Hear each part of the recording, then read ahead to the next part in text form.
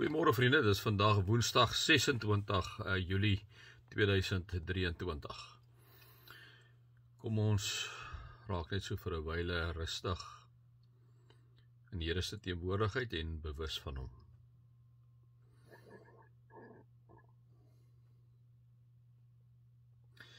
Fokus vriende so vir 'n 20 sekondes God as jou herder.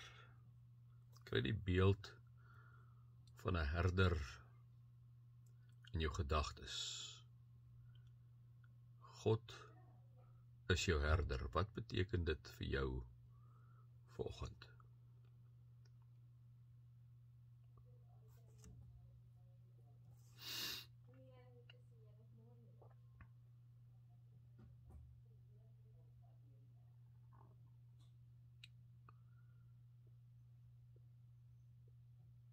Dankie Here dat vir elkeen van ons u metafoor van u as 'n herder iets miskien heel anders beteken. Vir my Here beteken dit dat u vir my liefhet. Vir my omgee en wanneer ek nie meer kan loop nie dat u my in die arms neem. Dankie Here vir daardie gedagte wat u vir my vir myself vandag weer eens gegee het. Amen. Vriende, mag daar vir julle genade en vrede in oorvloed wees om met julle God ken, Jesus ken en Heilige Gees ken. Vriende, ons is nou hier in uh, Prediker 3, ag, Prediker 4, ekskuus, uh so vanaf vers 5 tot in vers 12 en dis daar basies, dit lyk dit vir my so drie gedagtes wat uitkom, maar ek eintlik stil staan by die by die laaste gedagte. Vers 5 sê hy die dwaas vou sy hande en bewerk so sy eie ondergang. Hy vind een hand vol rus beter as 'n dubbele hand vol werk. Ook dit is 'n gejaag nou want nê. Nee. So en soveel vir julle op uit te brei nie, dit gaan maar hier hoor net dat iemand eintlik lui is. Dat hy nie eintlik daar uh, wil werk nie. En daarom vind hy een hand vol rus beter as 'n dubbele hand vol werk nê, 'n werk nê. Dan gaan hy aan in die in die vers 7 toe en sê hy Ek het in hierdie wêreld nog meer gesien wat tot niks kom nie. Daar was 'n man wat alleen was sonder 'n seun of 'n broer. Tog was daar nie 'n einde aan al sy inspanning nie en was hy steeds op soek na meer rykdom. Hy moes later sê: "Vir wie skoof ek my af en ontsê ek my die aangename dinge?" Ook hier kom dit tot, niks. Dit bly 'n harde saak. Ja, vriende, onthou nou ek sê maar altyd vir julle ek lees tussen die lyne, ek interpreteer, dit is maar as met my gedagtes wat ek met julle deel, so julle met die kaf van die koring moet julle maar inderdaad skei. So as ek as ek hierdie gedeelte lees vriende dan dan lees ek en verstaan ek dit dit gaan nou daar as die ou nou nie eintlik 'n gesin en familie het nie waaroor uh span hy hom in om rykdom te behaal nê hoekom hoekom hoekom wil hy al hierdie goeders hê as hy niemand het om dit voor te los nie? Maar dan kom daar 'n tweede gedagte in hierdie gedagte voor en dit is natuurlik dat in hierdie najaag van hierdie rykdom hierdie materiële goed ontsê hy hom aangename dinge. En ek dink dit is altyd in die lewe die die ehm um, die die die die dilemma. Ons moet leef maar ons moet ook oorleef. Leef jy te veel kan jy nie oorleef nie. Oorleef jy leef jy nie.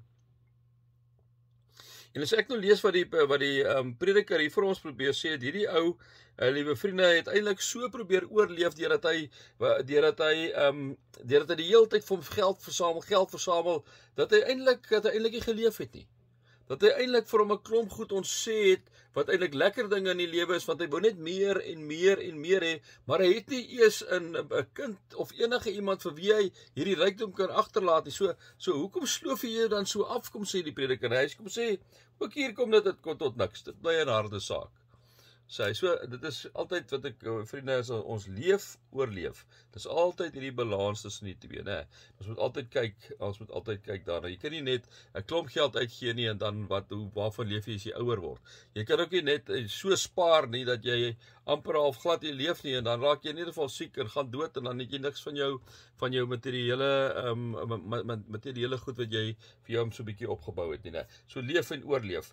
Ehm um, dit uh, gaan dit eintlik maar vir my oor hierdie gedeelte. En dan kom dit by die gedeelte wat ek eintlik so 'n bietjie by wil stil staan.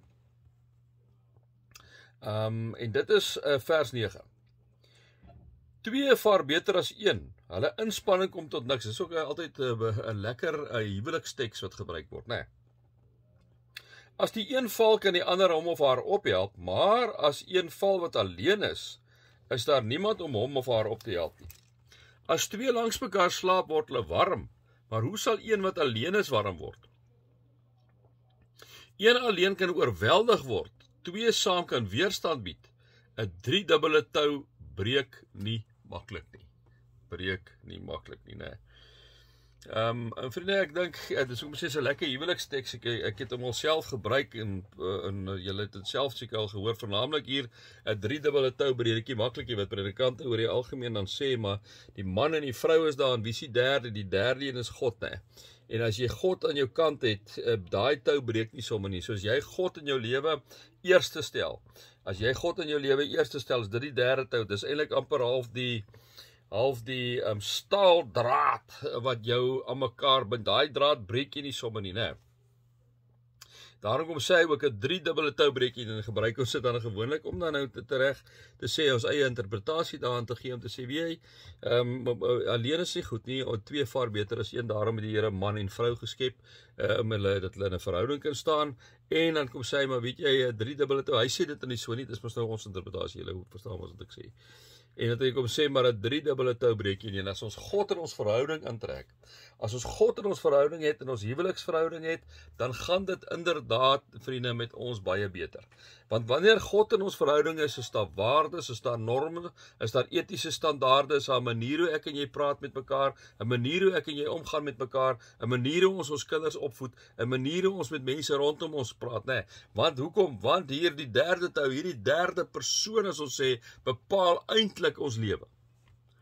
So uh, een is sleg as jy net een is, twee vaar jy beter slaap om 'n bietjie beter en 'n derde, drie dubbele tou breek jy nie maklik nie. En ek interpreteer dit dan om te sê maar as hierdie derde tou, hierdie hierdie staaldraad is eintlik God. En eintlik is is God as julle drie so saam in hierdie verhouding is man, vrou en God dan breek jy daardie eenheid breek jy nie breek jy nie sommer nie. Maar dit is belangrik dat ons vir God sal hê is die derde as die derde um staaldraad in ons verhouding.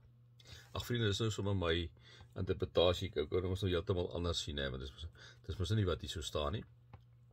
As tog iets lekkers om as 'n metafoor te gebruik hoe ons dan ook vir God sien binne in binne in 'n verhouding. Vriende, mag julle God se liefde ervaar, Jesus se genade ervaar en die Heilige Gees se teenwoordigheid ervaar. Amen.